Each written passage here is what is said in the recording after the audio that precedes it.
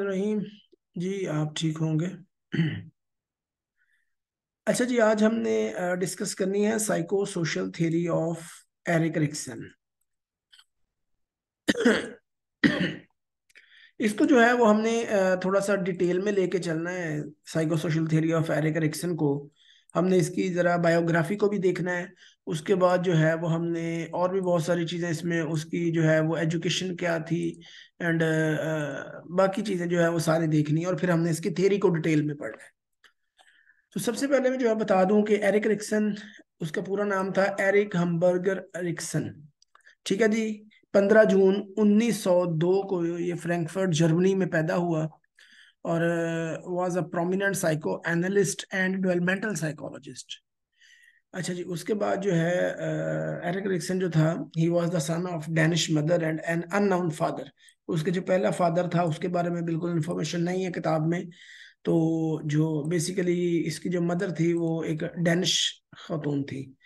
His biological father left before Erik's Erikson's birth उसका जो biological father था, जो असल में रियल उसका फादर था, वो उसकी पैदाइश से पहले ही जो है वो उसको छोड़ के चला गया तो उसकी माँ ने जो है वो उसका ब्रॉटअप किया। उसकी माँ का नाम था कार्ला अब्राहमसन और उसका जो स्टेप फादर था he was doctor Theodor Homburger अच्छा एरिक्सन जो था वो बेसिकली इनिशियल जो उसकी लाइफ थी, उसमें वो आर्ट्स में जो है वो और पेंटिंग में वो बड़ा इंटरेस्ट लेता था और वो पेंटिंग में ही अपना कैरियर बनाना चाहता था। तो अरिक्सन ने इस मकसद के लिए जो है वो यूरोप में बड़ा घूमा फिरा भी अपनी जो है वो जवानी के दौरान एज ए आर्टिस्ट 1927 में एरिक्सन ने अपनी जो है वो साइको एनालिटिकल ट्रेनिंग स्टार्ट कर दी वियना में और and became involve with the Vienna psycho analytical society और उसमें जो है वो शमूलियत अख्तियार कर ली। यहाँ पर जो है वो फिर एना फ्राइड से मिला और उसके फादर सिगमेंट फ्राइड से। तो उसने देखा कि ये जो है, ये बड़े मतलब बड़े लोग थे और इन्होंने जो है वो बड़ी एक कंट्रीब्यूशन थी इनकी इसमें जो है वो लिटरेचर में। 1933 में जब ये Nazi rose to power in Germany roots immigrated to the United States 1933 में जब नाजी जो एक थे हिटलर वगैरह थे उन्होंने जर्मनी पर जो, पावर यूज़ की तो उन्होंने यहूदियों का कत्लेआम किया। तो बिकॉज़ एरिक्सन जो था वो बेसिकली यहूदी था। उसकी जो रूट्स थी जो वो यहूदी से मज़हब से जो है वो जाके निकलती थी। तो वो वहाँ से माइग्रेट कर गया यूनाइटेड स्टेट्स में क्योंकि वहाँ पे यहूदियों का कत्लेआम हो रहा था। He continued his psychoanalytical studies in Boston and became a citizen in 1939. उसने फिर जाके जो है वो बोस्टन में अपनी साइको एनालिटिकल स्टडीज़ को जो था वो जारी रखा और 1939 में जो है वो वहाँ पे सिटीजनशिप उसको मिल गई। Erikson's early career in the United States involve working with children सबसे पहले जो है वो उसने बच्चों के साथ वहाँ पे यूनाइटेड स्टेट्स में काम किया। Including at the Harvard psychological clinic अपना जो है वो इंक्लूडिंग उसका जो एक क्लिनिक था साइकोलॉजिकल क्लिनिक हार्वर्ड तो वहाँ पर उसने मोस्टली जो है वो शुरू में बच्चों के साथ काम किया अमेरिका में His interest in child development laid the foundation for his later work on the psychosocial stages of the development. तो बेसिकली उसका बच्चों के साथ ही जो काम था, उसकी बेस पे ही जो उसने लेटर ऑन जो है वो साइको सोशल स्टेज थेरी भी जिसको हम कहते हैं, इसको स्टेज थेरी भी कहते हैं साइको सोशल डेवलपमेंटल थेरी भी हम इसको कहते हैं, ठीक है? तो उसने जो है वो पेश की। During world war two Erikson worked with Anna Freud in England focusing on the psychological wellbeing of children in war torn areas ठीक है, दूसरी जंग अजीम के दौरान अरिक्सन ने एना फ्राइड के साथ काम किया इंग्लैंड में और उन्होंने जो वो बच्चे जो जंग के दौरान जो थे, वो डिस्टर्ब हुए थे या मुतासर हुए थे, उनकी साइकोलॉजिकल वेलबींग का जो है, वो उन्होंने बहुत काम किया। Erikson most significant contribution is theory of the psychosocial development as I already discussed outlined in his book childhood and society अच्छा उसने अपनी जो किताब लिखी चाइल्ड हुड एंड सोसाइटी 1950 में तो उसने जो है, वो उसने अपनी साइको सोशल डेवलपमेंट जो है थेरी थी जो उसने वो दी। This theory expanded Freud's ideas, emphasizes the social and cultural influence on personality development across the lifespan.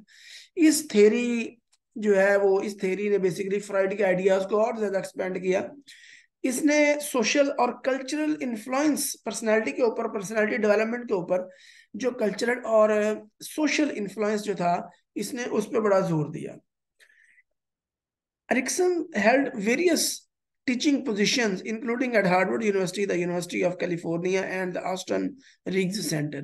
यहाँ पे जो है उसने एज ए उस्ताद भी काम किया He continued to refine and expand his theory, eventually publishing his major work, Identity and the Life Cycle in 15, 1959.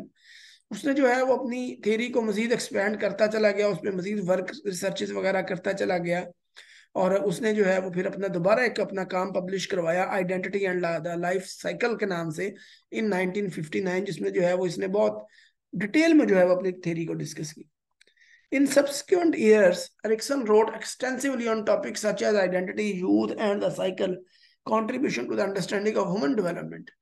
आने वाले सालों में फिर उसने जो है वो यूथ और लाइफ साइकिल जैसे मौजूद पर आइडेंटिटी जैसे मौजूद पर बहुत काम किया और एक ह्यूमन डेवलपमेंट को अंडरस्टैंड करने में जो है, वो उसने बड़ा अपना रोल प्ले किया। Erikson married Joan Serson Erikson Canadian born artist and they had three children together ठीक है जी, इसमें उन्होंने जो है, वो बाद में एरिक्सन ने जॉन सरसन के नामी खतून कैनेडियन खतून जो थी आर्टिस्ट थी तो उससे जो है, वो शादी की और तीन बच्चे पैदा हुए। Erikson theories continue to be influential in psychology, education, and various fields. His emphasis on the social and cultural aspects of the development has contributed to a more holistic understanding of human growth. उसने जो है वो basically बड़ा psychology में education और दूसरी fields में उसकी जो है थेरीज ने बहुत इन्फ्लुएंस किया और कंटिन्यूसली करती रही उसके अलावा जो है, उसने ह्यूमन डेवलपमेंट के जो डिफरेंट एस्पेक्ट्स थे, उन पर सोशल और कल्चरल एस्पेक्ट का बहुत ज़्यादा जो है, वो इफ़ेक्ट का ज़िक्र किया और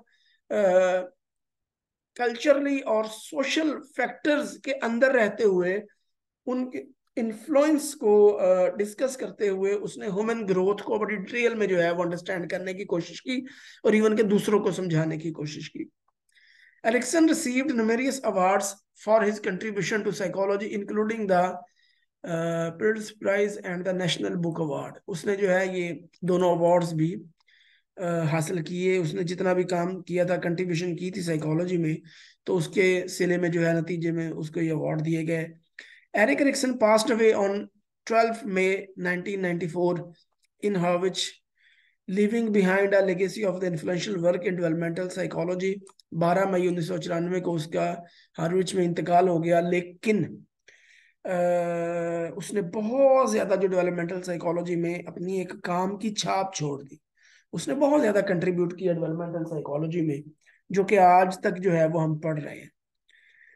अच्छा यहाँ पे मैं एक चीज़ थोड़ी सी मोटिवेशनल बात करना चाह रहा हूँ वो ये बात करना चाह रहा हूँ। देखें मैं हमेशा कहा करता हूँ कि कुछ ऐसा काम कर जाएँ कि दुनिया आपको याद करे। अब जिस तरह ये लोग हैं, अब 1994 में उसका इंतकाल हो गया, लेकिन अब उसके इंतकाल के 30 साल बाद भी हम एरिक रिक्सन को पढ़ रहे हैं बैठे। तो इट मीन्स कि दुनिया में आए हैं तो कुछ बजाय इसके कि हम मोबाइल पे अपना वक्त ज़ाया कर दें, सारा दिन मोबाइल को स्क्रॉल करने पे लगे रहें तो क्यों ना इस तरह का कोई अच्छा काम किया जाए?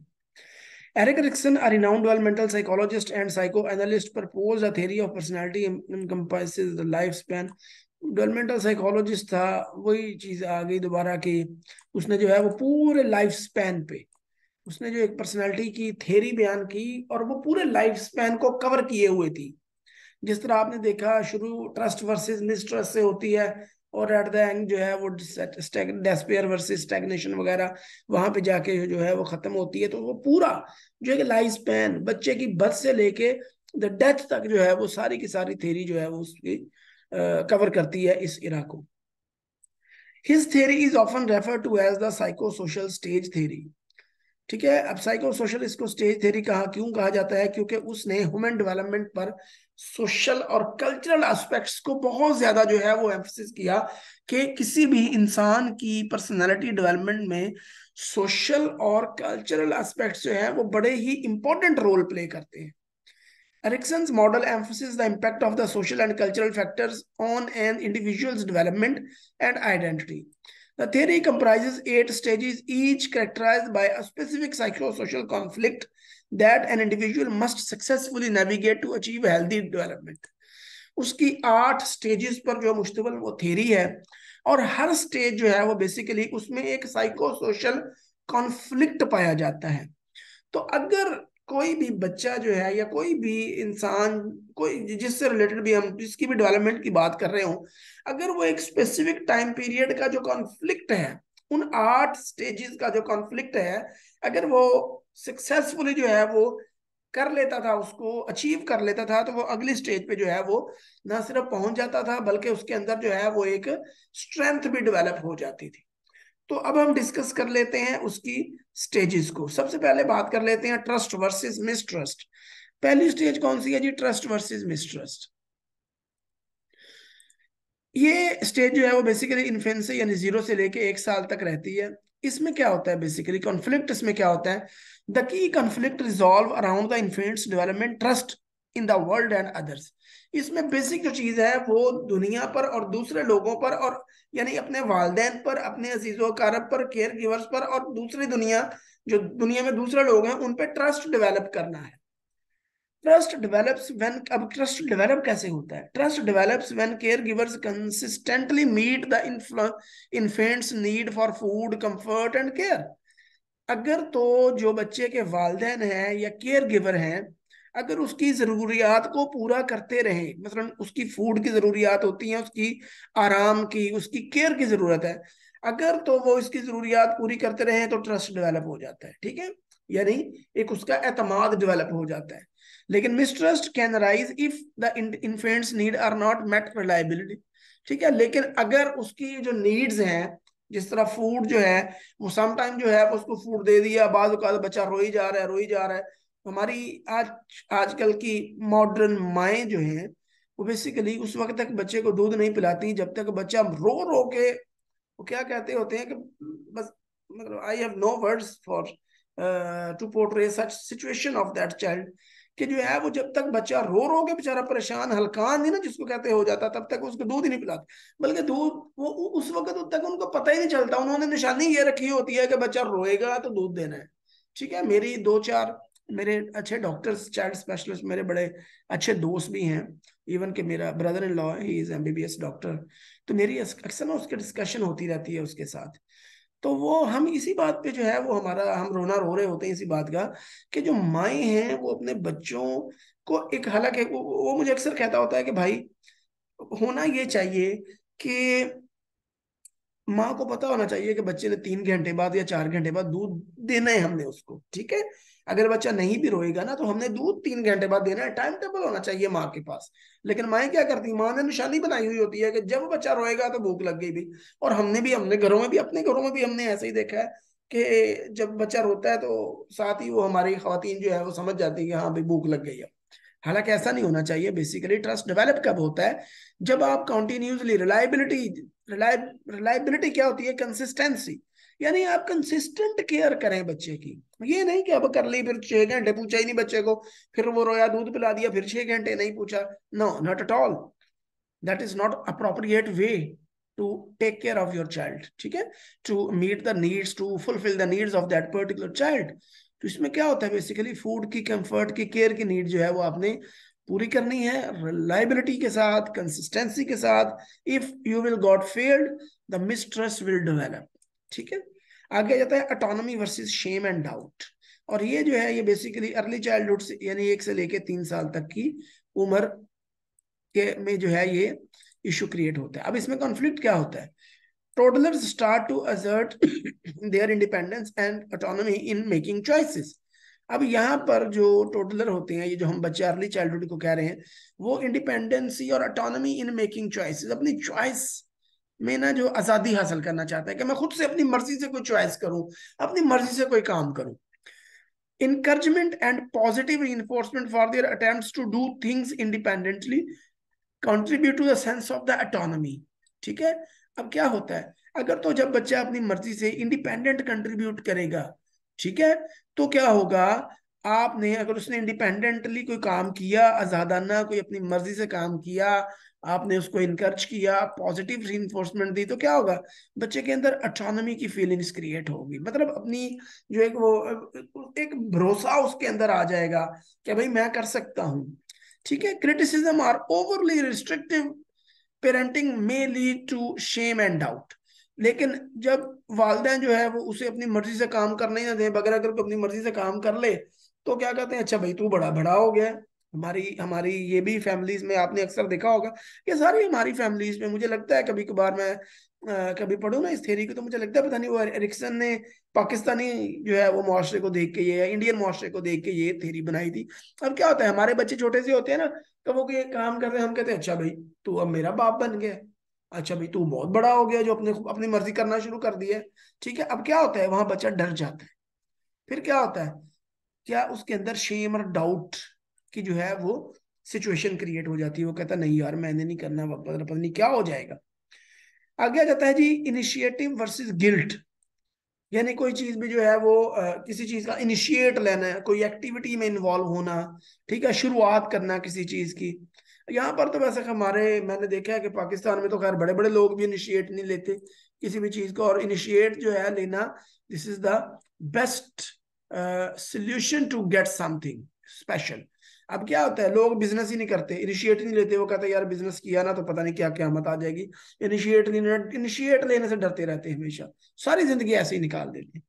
अच्छा इसमें क्या होता है जी? Children develop a sense of initiative ठीक है? उसकी इनिशिएट लेने की सेंस डेवलप होती है by exploring and engaging in activities चीज़ों को एक्सप्लोर करते हैं, चीज़ों में एंगेज होते हैं, शुरू करते हैं चीज़ों को।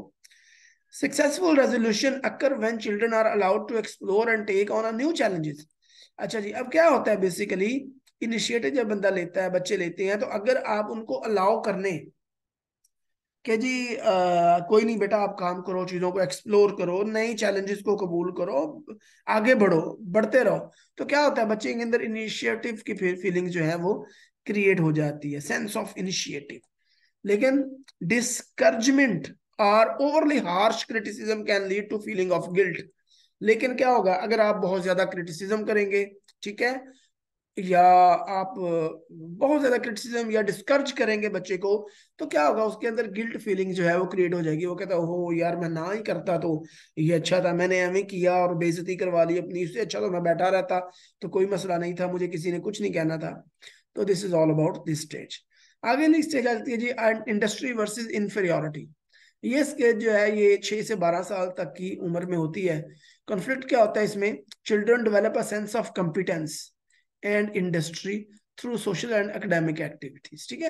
वो कॉम्पिटेंस की जो एक फीलिंग है इंडस्ट्री की, यानी एक प्रोडक्टिवनेस की जो फीलिंग है कि मैं कुछ कर सकता हूँ तो उसकी फीलिंग जो है वो इस जो है वो स्टेज में जो इसका खासा होता है positive experiences in school and social interactions contribute to sense of industry school में पॉजिटिव एक्सपीरियंसेस जो होते हैं और सोशल इंटरेक्शंस जो बच्चे के होते हैं, अगर वो अच्छे तरीके से सोशल इंटरेक्शन स्टार्ट कर दे, अगर स्कूल में उसके पॉजिटिव एक्सपीरियंसेस आ जाए मतलब उसको शाबाश दी जाए, वो पढ़ रहा है तो उसको क्रिटिसाइज ना किया जाए, बल्कि उसको जो है वो इनकरेज किया जाए to do and to move forward तो क्या होगा कि उसमें जो है वो एक सेंस ऑफ़ इंडस्ट्री यानी एक प्रोडक्टिविटी वो कुछ करना चाहेगा। वो कहेगा कि मैं कुछ करके दिखाऊँगा इनको। Feelings of inferiority may arise from a lack of success and recognition लेकिन अगर फेलियर हो जाता है, उसको जो है वो क्या होगा? फिर फीलिंग ऑफ़ इन्फेरियोरिटी अगर वो कामयाब नहीं हो पाता किसी वजह से तो उसके अंदर फीलिंग्स ऑफ़ इन्फेरियोरिटी की फीलिंग्स ऑफ़ इन्फेरियोरिटी आ जाती है कि यार मैं तो कर ही नहीं सकता, मैं तो हूँ ही नकम्मा, मैं नलायक हूँ, मैं किसी काम का नहीं हूँ बुला बुला तो इस तरह करके जो है वो बच्चा उसको फीलिंग ऑफ़ इन्फीरियोरिटी का शिकार हो जाता है। आगे आ जाता है जी आइडेंटिटी वर्सेस रोल कंफ्यूजन 12 से 18 साल तक की जो उम्र के बच्चे होते हैं, उनमें आइडेंटिटी और रोल कंफ्यूजन का बड़ा अमल दखल होता है। अब इसमें जो है वो बेसिकली वो अपनी आइडेंटिटी बनाते हैं ना, ये आपने देखा होगा कि ये उम्र कौन सी है? अडोलिसेंस की उम्र है, ठीक है? तो हर बच्चे की इसमें ख्वाहिश होती है डॉलिसंस की कि मेरी एक अपनी पहचान हो, ठीक है? कि मेरा एक रोल हो, मैं अपना रोल प्ले करूँ। मतलब मेरा एक अलग से मेरा जो है वो एक पहचान बनी, एक रिकग्निशन बने मेरी। Adolescents explore and form a sense of identity, including their values, beliefs and life goals. ठीक है? वो अपने लाइफ के गोल सेट कर लेते हैं उनके अपने एक बिलीफ होते हैं उनकी अपनी वैल्यूज़ वो क्रिएट कर लेते हैं। ठीक है? वो अपनी एक आइडेंटिटी को बनाना चाहते हैं। Successful navigation that this stage leads to the clear sense of identity अगर वो सक्सेसफुली जो है वो अपने मकासद में कामयाब हो जाते हैं ठीक है, जो भी वो काम कर रहे हों, वो अपने एक आइडेंटिटी बना लेती हैं तो क्या होगा? उनके अंदर एक सेंस ऑफ़ आइडेंटिटी क्रिएट हो जाती है। वाइल अनरिजॉल्व कॉन्फ्लिक्ट्स यानी कि वो कॉन्फ्लिक्ट्स होते हैं ना बेसिकली डिफरेंट के वो जो है वो अब किसी भी चीज़ को बेहतर तौर पर नहीं कर पाए तो क्या होगा कि उनके अंदर जो है वो एक वो या वो अपनी पहचान नहीं बना पाए, वो कंफ्यूज हो गए चीज़ों में, वो अपना अलग से एक, अपना एक इंडिविजुअल रोल प्ले ना कर पाए तो डेफिनेटली फिर उसकी आइडेंटिटी जो है वो नहीं बलती, बल्कि वो कंफ्यूजन का शिकार हो जाते हैं। वो कहते हैं, यार, पता नहीं, मैं क्या करने आया हूँ? दुनिया में मेरा रोल क्या है?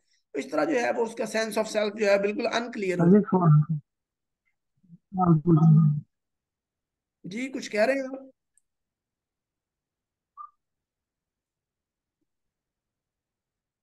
अच्छा जी, आगे आ जाता है। Intimacies versus isolation young adulthood में हाँ जी, मैं कह रहा हूँ एटीन से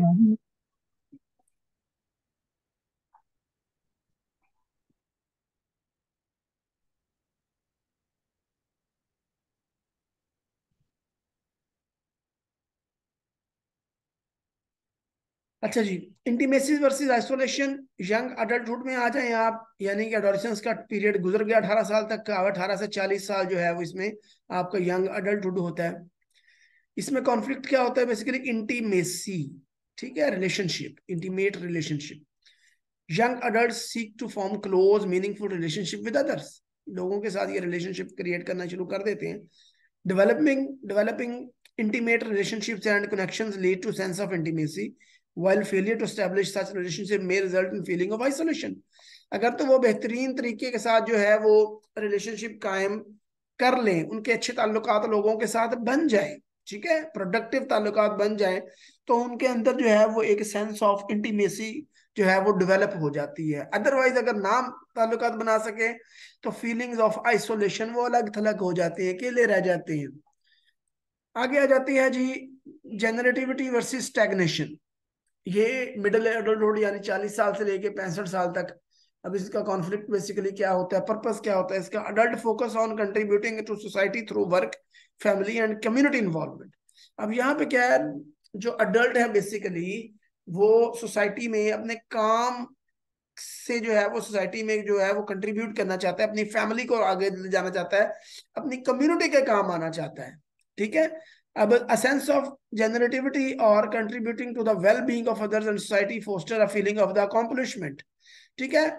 जब कोई शख्स जो है, वो सक्सेसफुली जो है, वो कोई ना कोई अपना रोल प्ले कर रहा हो सोसाइटी में, वो किसी के काम आ रहा हो, किसी की वेल बीइंग के लिए जो वो काम कर रहा हो कंट्रीब्यूशन कर रहा हो, अच्छाई का काम कर रहा हो तो उसके अंदर एक जो है वो अचीवमेंट की फीलिंग्स आती हैं फीलिंग्स ऑफ़ अकॉम्प्लिशमेंट वो अपने आप को कामयाब समझता है। वो समझता है कि ठीक है, मैं कुछ कर रहा हूँ, मेरी एक वर्थ है।